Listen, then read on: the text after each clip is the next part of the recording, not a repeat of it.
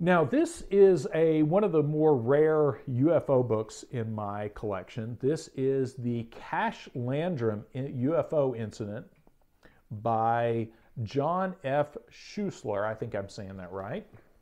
This was originally published in 1998 in Houston, Texas. Now, this is a fascinating, uh, a fascinating UFO case. And if you are into studying UFOs, and especially if you are into studying UFOs from the perspective of political control, and UFOs as a means of um, psychological warfare and things like that, this is definitely a, a, really good resource. This is definitely not one of those books that you're just going to sit down and read cover to cover because there's so much. The last, I would say, the last um, third or so the appendix, all of this is all documentation uh, backing up a lot of what he's talking about in here, of, about the case in general. So let me rewind a little bit and give you the, the basic case information about this. So this was this particular UFO incident involved three people. This was a um, a lady who owned a business, I think, around down in the Piney Woods area of Texas, named I believe her name was Betty uh, Betty Cash. And, um, I think that's right. And I apologize in advance if I get these names wrong. Um, and in fact, you know, I'm going to just double check while talking. I don't want to butcher, want to do do do these people justice here. So Betty Cash, Vicky Landrum, and Colby Landrum. Okay, so you had um, they were out driving, I think it was on December 29th of 1980. I think that's right. Um, they were on their way back from playing bingo or something like that down in that Piney Woods area. And that's an area northeast of Houston. So if you pull that up on Google Earth, you'll see that back when this was back in when this happened, that was a pretty desolate area. Now that's that's pretty well developed. There's a lot of little suburbs out in that area. But back when this happened, that was a pretty desolate area they were driving through. And as they were making their way back home, so Colby Landrum, he would he would probably be about my age now. So because um, I remember my mom actually telling me about she heard about this on the radio and her telling me this story probably around 1981 and being like really blown away by the implications of this even as a child hearing this and going whoa that's crazy um, so you had Colby Landrum as a kid. I think he would have been about six or seven years old at the time.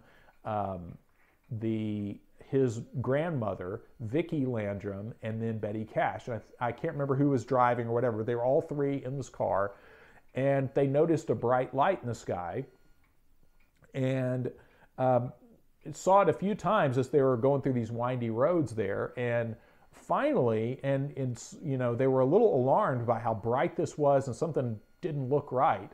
And then all of a sudden, this thing started to, to descend into the roadway and stopped and just hovered in the Piney Wood section. It's kind of a forested area of Texas and came down to the you know treetop level and just hovered there and they said like fire was coming out of the the bottom of it but not like a jet engine like fire like you know engine malfunction fire or something like that and the heat was incredible so they initially thought maybe they could just drive under this thing and get, get away from it.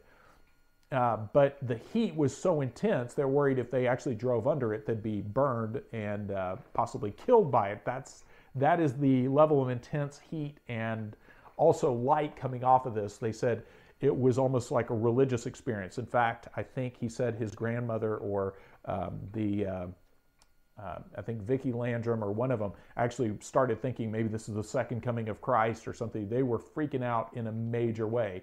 This was huge, intensely bright light and high heat. I think it even warped their dashboard from the heat. And uh, they got out of the car to get a better look at it, but they were all freaking out trying to decide do we run away? Do we get back in the car? And also, as this is happening, they had also noticed, um, I think the the grandson there, Colby, counted something like 23 Chinook helicopters flying around, um, surrounding this flying thing that he, as you see from the, the picture on the cover here, the artist rendition of this was kind of a diamond shape. And the grandson in later accounts referred to it as he said it was probably about the size of the, the local water tower. He said that was about the size. So no small object. And these Chinook helicopters seemed to be surrounding this and kind of guiding it away. And then it eventually went away, and the, all these Chinooks, those those huge twin rotor helicopters, kind of escorted it away.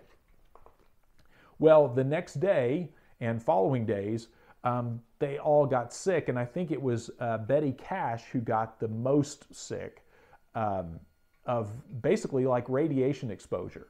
And it's interesting to note that at no point their initial reaction, and I think still to this day, um, the the grandson, who's I, I, presume still alive now, all none of them said it was aliens coming down to try to abduct us. They were all saying this is some kind of classified project that was flying where it should not have been, and basically gave us all a strong dose of radiation.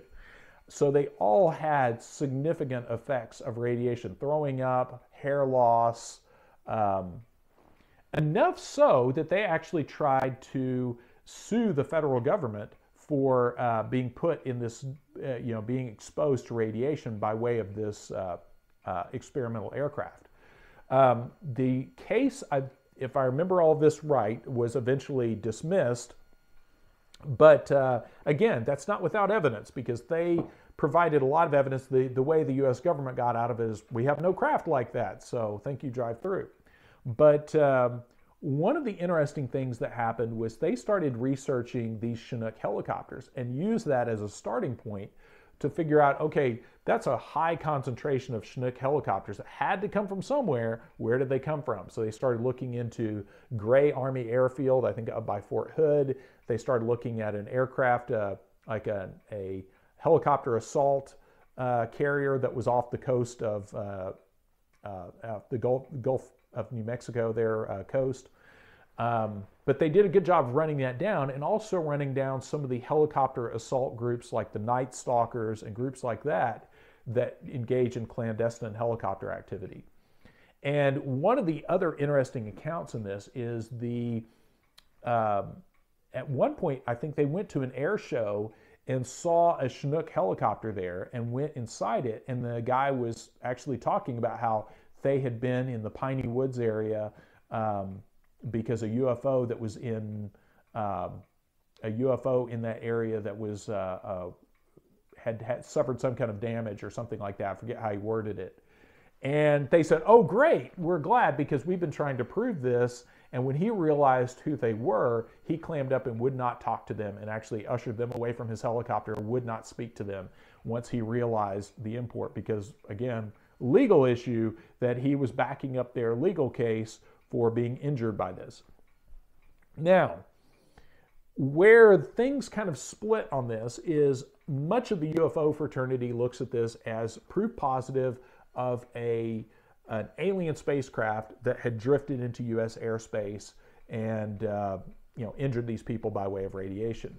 Um, there's also another camp of people that's not as well known um, and I would call myself a member of the second camp that says I personally think that this is proof positive of experimentation with exotic propulsion involving nuclear power, which would make sense why you would not want to advertise to the surrounding population that you have a nuclear reactor flying over their property. Um, and again, that would definitely make sense why you these uh, these people would be injured by this.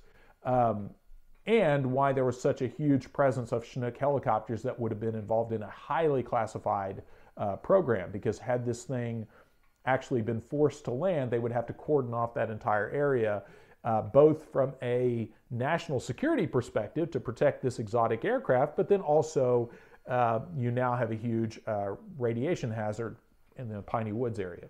So, fascinating case. This is covered a lot of UFO books talk about this case, but this is by far the best treatment of the entire case and some of the best documentation to, uh, to back it up, and a lot of really good research about the helicopters and where they could have originated from. Um, the only downside to this, this is not cheap. If you could find a copy, I think the cheapest I've seen one of these go for is around a hundred bucks. And I think I got lucky one time. It's like like buying uh, commodities. One time I saw this dip below a hundred dollars and snagged this copy. So um, it's an excellent book if you can find it. You know, it's up to you to decide if you think it's worth two or three hundred bucks or whatever it's going for. But uh, at the very least, it is a case that should not be forgotten just because it had real physical evidence. And I think the other night when I was pulling this out to review it, um, I did find a an interview with Colby uh, Landrum when he was still probably just seven or eight years old or so. And uh, you can find that if you search uh, Colby Landrum interview on YouTube. Um, and it's very obvious that the people interviewing him are wanting him to say aliens. And he's like, no, I think this was a secret government aircraft. And it's impressive because here you have a kid who sounds more lucid and sober minded about what he saw and you know what he witnessed than most adults would be of uh, in today. So fascinating case. And again, personally, I find this really interesting in the in the respect that I think this case really props up the idea of UFOs being used for political control, being used for psychological warfare, and this one just not quite working quite right, and um, and having some you know technical difficulties along the way. So I'll leave it there, but fascinating book on the case. One of the very, the, I think the only book I know of that that is a complete book just on this case. But that is the Cash Landrum UFO incident Three Texans are injured during an encounter with a UFO and military helicopters by John F. Schuessler. And again, this is from um, 1998, I believe. I'll just confirm one more time so I get it right. Yes, this is from 1998.